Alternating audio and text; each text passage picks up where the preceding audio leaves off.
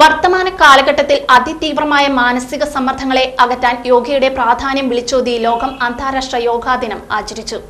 ലോകം മുഴുവൻ യോഗാ ദിനം ആചരിച്ചപ്പോൾ ആദരിക്കപ്പെട്ടത് ഭാരതത്തിന്റെ മഹത്തായ പൈതൃകം കൂടിയാണ്.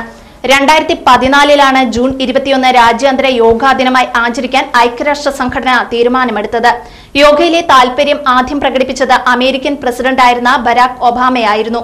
പിന്നീട് ലോക നേതാക്കൾ യോഗയെ എതിരേറ്റു. ഇത്തവണ ഇരുന്നൂറ്റി മുപ്പത് രാജ്യങ്ങളിലായി അൻപത് കോടി ജനങ്ങളാണ് യോഗാ ദിന പരിപാടിയുടെ ഭാഗമായത്. യോഗ സംഗമങ്ങൾ ശില്പശാല സെമിനാർ എന്നിവയും വിവിധ കേന്ദ്രങ്ങളിൽ നടന്നു. യോഗയുമായി ബന്ധപ്പെട്ട പോസ്റ്ററുകളും ചിത്രങ്ങളുമായി ന്യൂയോർക്കിലെ ഐക്യരാഷ്ട്ര സഭയുടെ ആസ്ഥാനം വർണാഭമായിരുന്നു. പർവതാസനത്തിൽ യോഗ ചെയ്യുന്ന സ്ത്രീയുടെ ചിത്രത്തോടെയായിരുന്നു ഐക്യരാഷ്ട്ര സഭയിലെ അലങ്കാരം. അമേരിക്കൻ പാർലമെന്റ് മുറ്റത്ത് നടന്ന ചടങ്ങിൽ ഇന്ത്യൻ നൃത്തരൂപങ്ങൾ അരങ്ങേറി. കേരളത്തിലും വിവിധ സ്ഥലങ്ങളിൽ യോഗ പ്രദർശനം നടന്നു. സ്കൂളുകൾ കേന്ദ്രീകരിച്ചും പ്രദർശനവും ഉണ്ടായി. വടക്കാഞ്ചേരി മേഖലയിലും നിരവധി ആളുകൾ യോഗ പ്രദർശനത്തിൽ പങ്കെടുത്തു.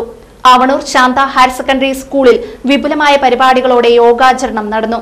യോഗാചാര്യൻ വിജയൻ എടക്കുളം നേതൃത്വം നൽകി. പ്രധാനാധ്യാപിക Mini P T A president Yesudas Painedath vice president Achuthakumar principal Shiny Maya തുടങ്ങിയവർ പ്രസംഗിച്ചു.